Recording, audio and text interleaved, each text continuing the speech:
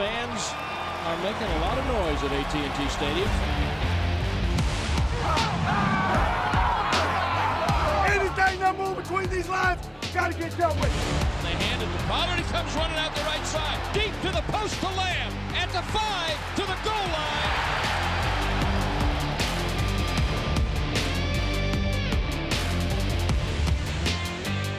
Dallas Cowboys Game Night is presented by AT&T, official sponsor of the Dallas Cowboys. It's starting to become a tradition, a tradition like Thanksgiving, like the turkey, like the stuffings, and it's the Cowboys winning at AT&T Stadium. 45 to 10, their seventh win of over 20 points or more this season, tied for the most in franchise history as they take down the Washington Commanders here on this Thanksgiving holiday. Welcome into Cowboys Game Night, everybody. Happy Thanksgiving from our family to yours. He's Nate Newton. I'm Kyle Youmans. Glad you're with us. And Nate, it was all three phases working again for the Cowboys. An impressive win yet again for this team. And Mike McCarthy continues to win at home. Huge credit for what they've done here of this 13-game winning streak at AT&T Stadium. Hats off to Mike McCarthy and, and, and that great team that that's playing right now. They're paying attention to detail. They're focusing on what they have to do. They got what three games in 12 days, and they're saving their bodies, and but they're working their mind. They're doing a little extra, watching the film, making sure they know what's going on. So you're starting to see training camp and, and how it played out and how it's uh, prospering now during the middle of the season. Yeah, you're starting to see everything work in the right direction, and each week this team continues to get better and better, and also maybe make a little history along the way. It's the 56th all-time meeting on Thanksgiving for the Cowboys. Their 11th against the Washington Commanders. Second time they've seen Sam Howell. Starting late in the first quarter, Dallas took a couple drives to get started, but 11 plays, 90 yards into their third drive of the game. It was Rico Dowdle on the screen play for 15 yards. Second straight home game he's found, Pater. Oh, man, definitely. I like that this kid is moving. They're using him all different ways. Right here, a screen, nice block by, by uh, Big Biadasz and good good play. Yeah, good play overall. All Washington would answer with a field goal in the second, but next Dallas drive, Dak Prescott keeps balling. Finds Brandin Cooks for six over the top. 14 to 3. Dallas takes the lead. Over the Boom. top. He's crossing over the middle there.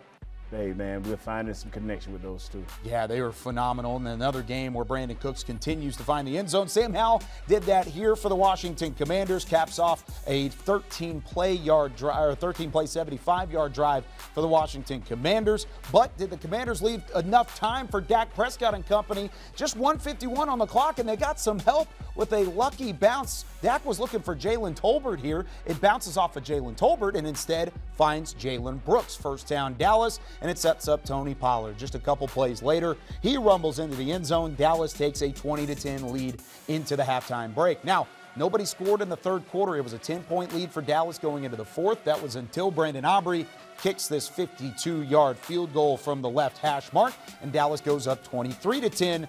But then defensively, Washington really needs a score, and they have Micah Parsons step up. The Lion gets a bit of the feast on Thanksgiving. He has a sack, pushes Dallas all the way back. It's third down and 17. Now, Washington would pick up 16 yards getting it to fourth and one. Jonathan Hankins with the sack behind the line of scrimmage and a phenomenal play from Hankins, his second sack of the day, now gives the green light to the Dallas Cowboys offense. Dak Prescott off his back leg finds CeeDee Lamb crossing over the end zone. Touchdown CeeDee, his sixth of the year, and the Dallas offense wasn't done yet. After another stop, Dak Prescott reaches back, throws over the seam. There's KaVontae Turpin. He's in the end zone, and all of a sudden, everything firing on all cylinders for the Cowboys. So that means you've got to find some turkey legs in the process. And by in the process, I mean in the Salvation Army kettle. I mean, I, I wish I was riding with him now because that turkey leg looked pretty good and bring me back to old memories when I used to pass out them turkeys, man. I would have hit one too. Four touchdowns for Dak Prescott. What about the defense? You need a defensive play. This isn't a replay. This is DaRon Bland with his fifth pick six of the season. It breaks the NFL record. DB takes it to the house. He said he wasn't going to be stopped before he found his way to the end zone, and he makes NFL history in the process. Man, this dude is special, man. Look at that, man. Makes the quarterback miss, makes two receivers bump into each other. Is this dude a returner? Uh, he's, is he a defensive back? This guy is great. five pick sixes on the year. Dak Prescott had four touchdowns, 10th game of four touchdowns or more in his NFL career as the Cowboys put up another 40 burger, 45 to 10 over the Washington Commanders, and Dallas improves to 8 and 3 on the 2023 campaign. We talked about NFL history. Let's hear from the history maker, DaRon Bland. When we come back with more Cowboys game night, we hear from his fifth pick six. What did he see on the play? What was he thinking in that moment when he crossed the goal line right after this?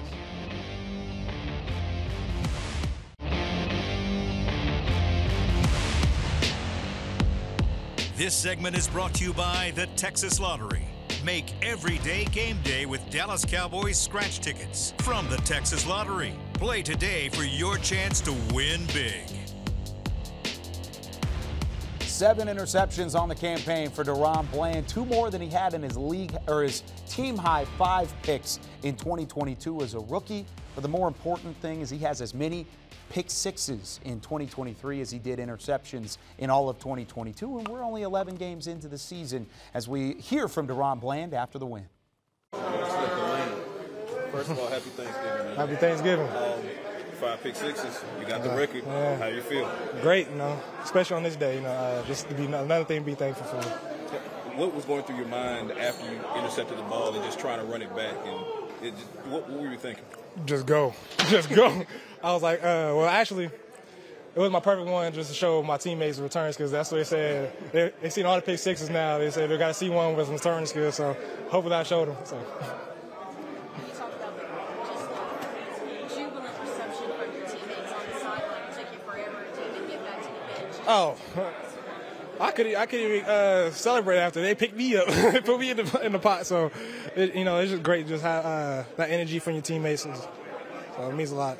Did you think, were you afraid that you might get tackled there at the end? Uh, you know, yeah, a little bit, but you know, got to get in the end zone. I wasn't, I wasn't, I wasn't gonna be him down on that one. Did you not have the Salvation Army kettle uh, celebration planned ahead of time? No, well, I, I was supposed to get the pot by myself, but they picked me up, so it messed me all up. What, what does it mean, just as far as your story goes? You know, young California boy, Sacramento State, Fresno State. You're not coming from a Power Five school and thing to be able to, to do what you're doing at a rate that literally no one has ever done in the NFL. I mean, it, feels, it means a lot, you know. Uh, that was one of my biggest things. Just show the kids back home, like, if you could do it. Whatever it is you put your mind to, you can do it. We heard a pretty loud roar from the locker room when you walked in. Yeah. Oh man, great. You know, I, I I didn't even see nobody yet. All I heard was a roar, so it felt good just have the teammates just bring that energy and uh, just congratulate me on that.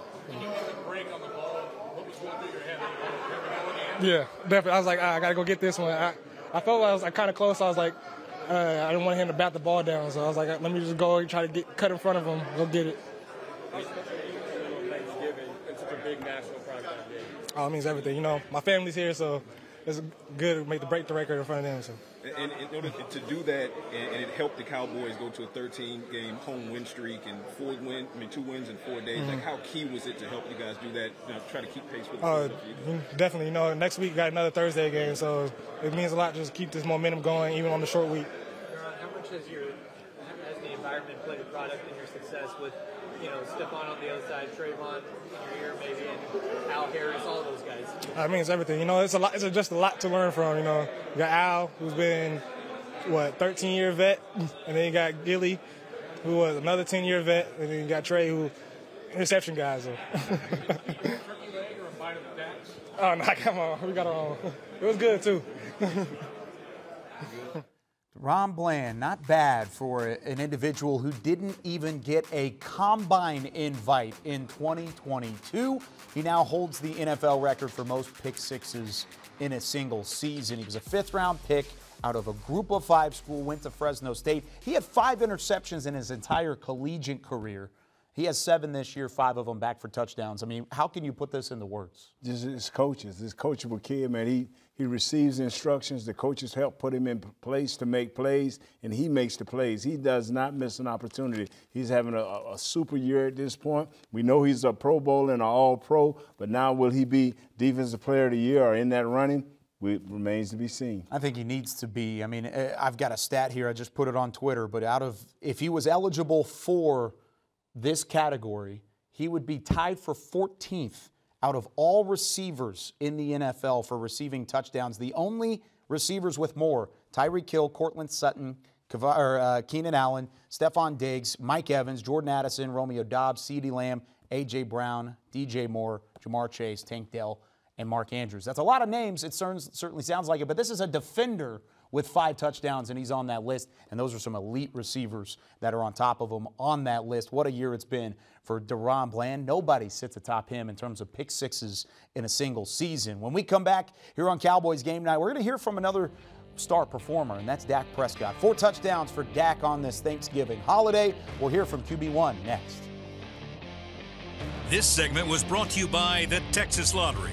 Make every day game day with Dallas Cowboys scratch tickets from the Texas Lottery. Play today for your chance to win big.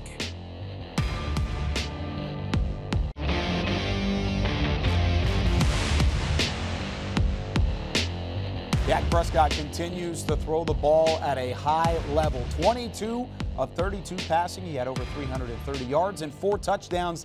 10th time in his career that he's had at least four passing touchdowns. Let's hear from Dak after the win. Point two.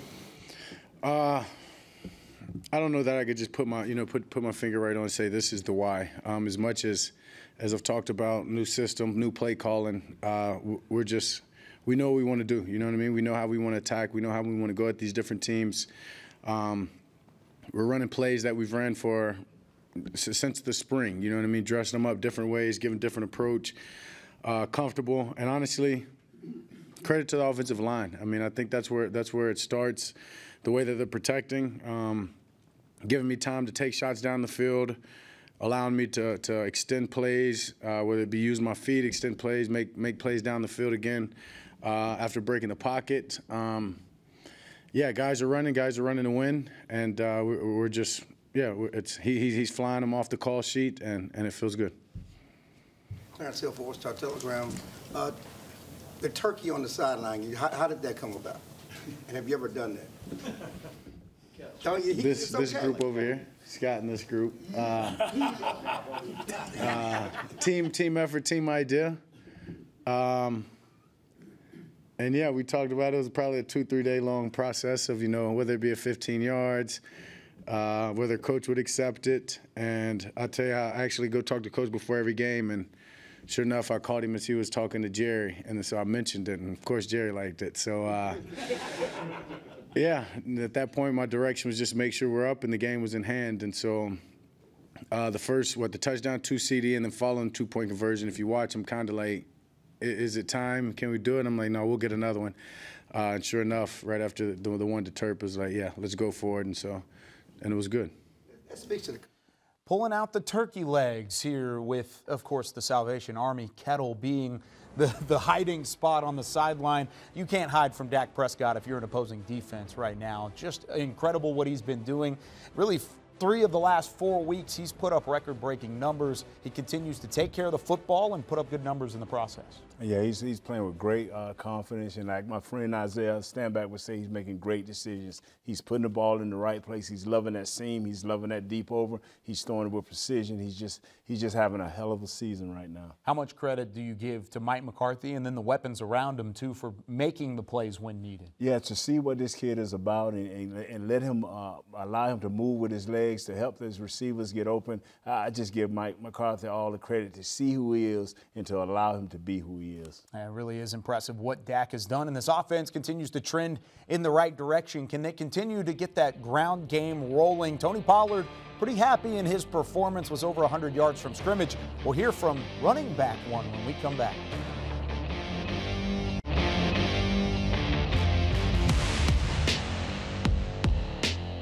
Cowboys game night here from the Star in Frisco. I'm Kyle Youmans. Tony Pollard had 19 touches, 13 carries, and then six more receptions. Here's what he had to say after hitting 100 yards from scrimmage today. Happy Thanksgiving. How'd it feel to get a, a win that big on Thanksgiving in front of, in front of all Americans? Uh, it was huge, you know, especially against a division opponent, you know, building that momentum going into the season. So, yeah, it was a big win for us. What'd you think of the moves of uh, DaRon Bland on that return? Did you get a good look at it? Man, um, I don't think I can see he's different. That's the only way I can explain it. Um, five touchdowns on defense. That's crazy. Like, what he's doing is unheard of. How do you feel about the running game right now? It seems to be progressing every game the last few weeks. Yeah, I feel like lately, you know, we've been getting the rhythm in the run game, you know, being efficient and um, everything that we've been calling, getting the most out of it. So I feel like we're trending towards the right direction. You feel a large part of that it comes from continuity with the front five and how many, you know, they're getting more and more reps as the weeks go on? Yeah, just being out there with that same group, you know, over time, just growing together, learning each other's ways and tendencies, and then just learning. Do you think maybe going to a little bit more zone scheme in the run game has helped as well? Um, I would say just just our execution, you know, and everything that we've been doing. Uh, you know, just just fine tuning the details of everything, making sure we're on the same page, and just going out execute. Did you uh, get your hands on one of the turkey legs that Turpin pulled out of the kettle? Uh, he threw me one, but I dropped it. I, I thought it was a hot dog at first, but I realized when he pulled it out, I need to go get one of those, man.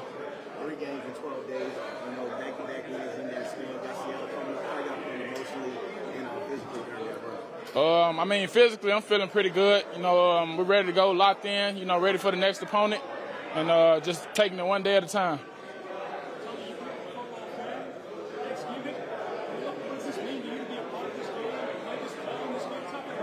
Um, I mean, it's just big. You know, growing up as a kid, you know, um, going over families' houses, watching the games, you know, um, making a big deal. Everybody's picking sides who they're cheering for, and, and now, you know, being on that stage, going out there, being able to play. So it's just a surreal moment, actually. Tony Pollard finishes with 79 yards on the ground, but he had another 24 through the air off of six receptions. He found the end zone again. That was a seven yard touchdown. At the point, it was a crucial one to continue pushing that offense in the right direction as we welcome you back into Cowboys game night. He's Nate Newton. And Nate, I know you've been a huge advocate of getting the ground game rolling in the right direction. Do you feel like you're headed that direction? Yes, because they're using Tony in the right ways. You've seen him now get more outside. Yeah, we'll hit up in the middle with a kind of a, a, a draw-like uh, motion, but we're getting to the outside. We're throwing to him a little bit more. We threw to him for six targets for 24 yards. That's a great thing. We're using Tony not so much in, in quantity, but in quality. And now Rico Dowdle is starting to find a rhythm, so we're okay. Yeah, definitely looks like you're starting to build some of that continuity up front. How much does the offensive line uh, give you hope for the future? Everybody's intact. Everybody's playing well. So, you know, we have our breakdowns here and there, but as a one unit, they're rolling it with rhythm, and they're okay right now. Yeah, it's not always about the ball carriers. Nate Newton knows that. I mean, Emmitt Smith wouldn't be Emmitt Smith without Nate Newton, right? I don't know. Yeah, you don't know about that one. Game night continues in just a couple of moments. We wrap this up and we look ahead another Thursday night football matchup, this time against the Seattle Seahawks.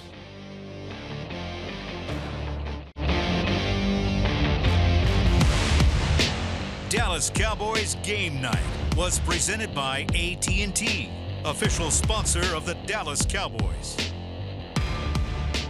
That Thanksgiving dessert probably tasting a little bit sweeter for Dallas Cowboys fans after Dallas takes down the Washington Commanders 45 to 10 the final score from AT&T Stadium. In Arlington 13 straight home wins for the Cowboys. They've won 3 straight and now are at 8 and 3 as they enter a Thursday night football matchup with the Seattle Seahawks. Wrapping things up with Nate Newton. Nate what do you want to see improved from this Cowboys team heading into week 13? Just keep using Tony Pollard the right way. Outside screens, throwing uh, a flare outside of the backfield, I will be satisfied because now that gives our offensive line a chance to find some rhythm, to get downfield, to start hitting people a little bit better, and still keep improving week in and week out. So we should be okay. Tough turnaround for this team. Three games in 12 days. It's never easy to play that many games in one sitting, but they've been looking good to this point. Got to rest some guys late here in this Thanksgiving Day matchup. So, with that being the case, hopefully it's enough for the Cowboys to be fresh going into that Thursday night football matchup. We will be out at AT&T Stadium for that one. It will get started. Cowboys pregame live at 6 p.m. Central Time from the AT&T East Plaza. Come say hi. Come hang out with us. It'll be a whole lot of fun with Nate Newton and myself, Barry Church, Isaiah Stanback involved as well. That does it for us on Cowboys game night. Happy Thanksgiving, everybody.